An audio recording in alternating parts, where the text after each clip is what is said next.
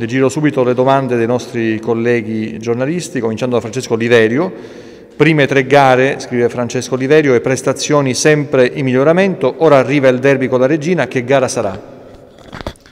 No, mm, sicuramente sarà una gara eh, dove si affrontano due squadre che eh, hanno un credo tattico molto simile e quindi vedremo una gara con molti duelli, una gara che avrà molti duelli e, e soprattutto eh, è preparata a livello mentale, eh, soprattutto dando certezza su ciò che siamo e, e lavorando su, su, molte situazioni che, che dobbiamo, eh, dobbiamo migliorare e dobbiamo affrettare in questo. Quindi le gare a noi ci danno anche questo eh, questi input, di, di valutarle, le gare precedenti per migliorare in fretta, soprattutto quando trovi una gara ravvicinata come questa, devi subito mettere, far tesoro di ciò che non è andato nella gara precedente e migliorarla nella, in quella successiva. Insomma. Alfredo Nardi, da una parte Toscano e Napoli, dall'altra Occhiuzzi e Moschella, un bel tuffo al cuore per tutti. Sì, sicuramente, abbiamo condiviso anni fantastici insieme, è rimasta, è rimasta amicizia eh, tra di noi, tanta amicizia, tanta stima, eh, quindi è bello rincontrarsi, è normale che domani sarà, sarà poi in campo, saremo avversari con il coltello tra i denti. Antonio Clausi, Regina e Cosenza sono due squadre dalla carta identità differente, figlie dei rispettivi modi di operare del club. Esperienza contro freschezza e anche il riassunto del confronto tra amici Toscano contro Chiuzzi? No, eh, noi ripeto, eh, come a livello lavorativo, umano, io conosco eh, il mister Mimmo, lui conosce me, ci conosciamo, ma mh, mm, So e sicuramente da parte sua c'è, tanta esperienza, è un allenatore che stimo tantissimo, quindi eh, ho, mi sono spesso confrontato con lui in passato, eh, però da parte mia c'è, eh, c'è la voglia di, di migliorarmi, di, di, crescere, di dare sempre più certezze alla squadra, quindi eh, voglio farlo in fretta e devo farlo in fretta per il nostro Cosenza. Franco Segreto, conoscendo bene Toscano, può dirci il mister le caratteristiche e i punti deboli e forti delle sue squadre? Il mister è un martello, quindi lui è uno che ha il focus del risultato in testa, e quindi eh, lui è tutto, tutta una forza, quindi eh, per me lui ha tanti pregi, ha molti, più pregi che difetti. Insomma. Roberto Barbarossa, Buongiorno mister, domani sera inevitabile qualche novità nell'11 iniziale, visti gli impegni ravvicinati, se sì, in che settore pensa di intervenire? Allora, oggi nella rifinitura avremo insomma, il quadro della situazione. Eh, non, a me non si tratta mai di turnover né nient'altro, io ho 25 titolari, li alleno tutti allo stesso modo, li alleno eh, per metterli nelle condizioni che chiunque scende in campo sa ciò che deve fare perché voglio una squadra che parla un'unica lingua e quindi ehm, la rifinitura, soprattutto in queste gare ravvicinate, è fondamentale per sciogliere molti dubbi. Ha già risposto anche a Pier Giorgio Giorno che diceva tre partite in sette giorni, la formazione che vedremo domani sera al campo sarà condizionata da questi incontri ravvicinati, mi sembra che sia esauriente la risposta che ha appena dato. Andiamo con Osvaldo Morisco, ben trovato mister, cosa teme di più degli avversari? rispetto per gli avversari, perché gli avversari si rispettano, si devono conoscere, eh, però per me il temere eh, non esiste perché dobbiamo pensare a fare sempre noi la gara in fase di possesso, in fase di non possesso, valutando tutte le fasi di gioco e quindi assolutamente rispetto per tutti gli avversari e, e basta insomma.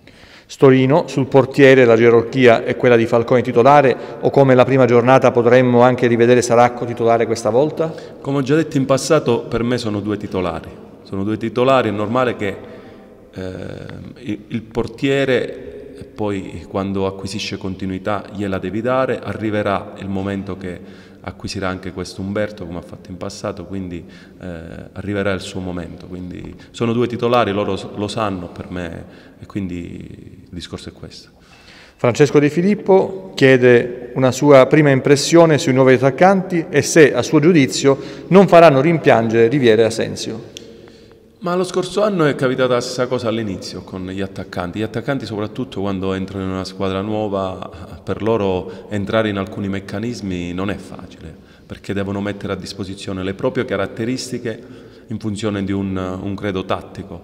E, e, quindi soprattutto noi giochiamo con tre attaccanti molto eh, flessibili nei ruoli e quindi devono capire queste queste nostre situazioni, quando entrano in questi meccanismi, usciranno fuori le loro caratteristiche e ci faranno divertire. Insomma.